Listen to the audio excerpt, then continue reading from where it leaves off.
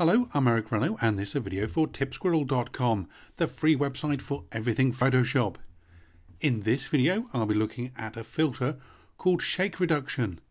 Let's jump into Photoshop and see what it is.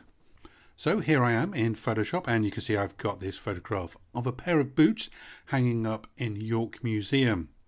Now the lighting conditions weren't very good so I'm actually shooting this at 1 20th of a second ISO 800.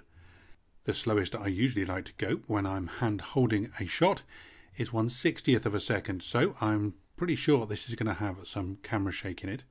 Also at ISO 800 I think I'm going to have quite a bit of noise to contend with as well.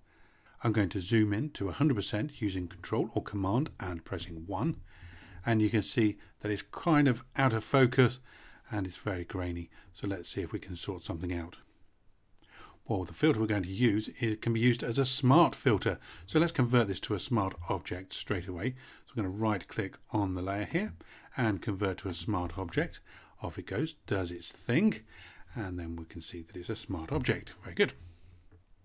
Now I'm going to just go Command and Control 0 to fit it back on screen, keep it all nice and neat. And let's go to Filter, and then Sharpen, and then Shake Reduction. And we get a brand new dialog box. We see the main picture in the main part, of course, and then down the bottom right hand corner we get a preview of what this filter is doing. And you can see that it's done its business and we've now got a preview. It's not quite how I want to see it, so you can see I've got a hand if I hover over the top of it.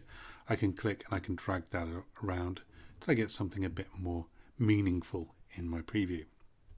And you may have seen it change there. That's because when this preview, if I click down, you can see the before and the after, so that's done a pretty good job straight off the bat. Above that you can see a black square with a little white dot in it.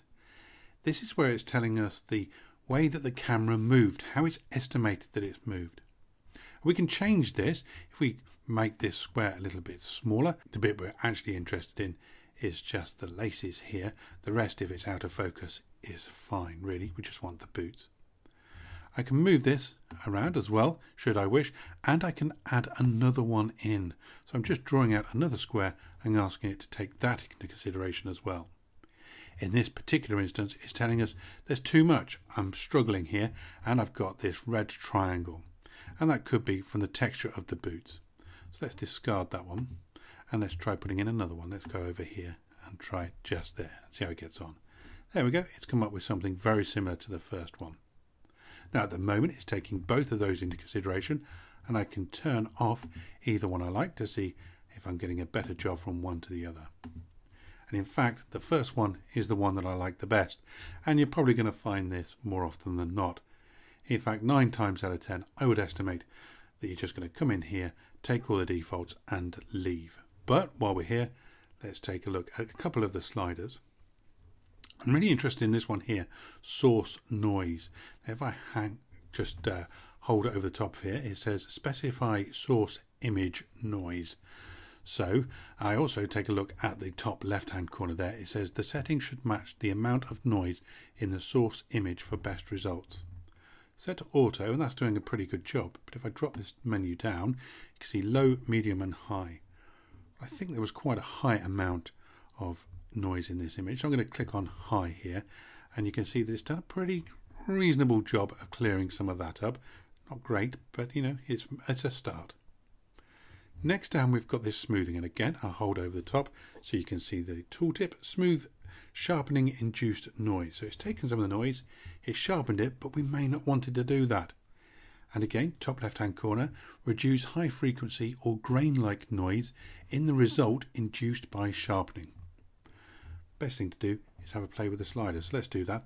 I'm going to take this slider right up to 100% and we can see how it kind of smooths out the whole image, or at least I was expecting it to, uh, or none at all. Let's try this again, shall we? Let's go smooth right up to 100%. Absolutely nothing happening. Up. Let's click on this. And let's go 100%. There we go.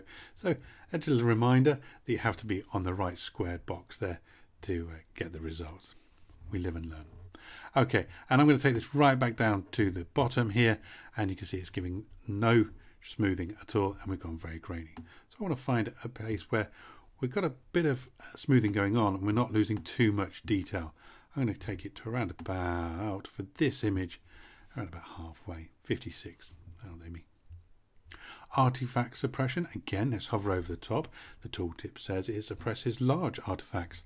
And the top left says reduce large artifacts in the result induced by sharpening.